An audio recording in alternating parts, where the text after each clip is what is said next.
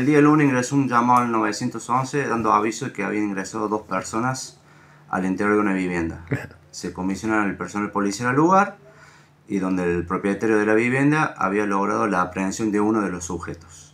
El otro sujeto se había dado a la fuga. Producto de esto, el hombre queda aprehendido.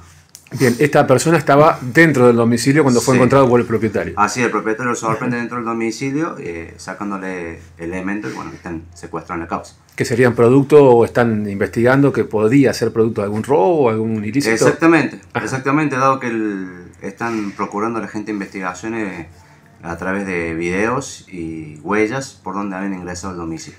El detenido es una persona de aquí de Wincarnancó, tiene antecedentes. Es una persona de Huinca Renanco, masculino mayor de edad. Bien, Más datos de eso no te puedo precisar porque estamos trabajando a fines de la correcta identificación del segundo sujeto. bien, que está, estaría prófugo en estos momentos. En estos momentos eh, se encontraría prófugo, pero bueno, eh, el trabajo de la de investigación en estos momentos están declarando la unidad judicial, así que mucho no puedo adelantar. Bien. ¿Alguna otra cosa que se pueda decir sobre el hecho o, o alguna situación que se ha dado durante el fin de semana?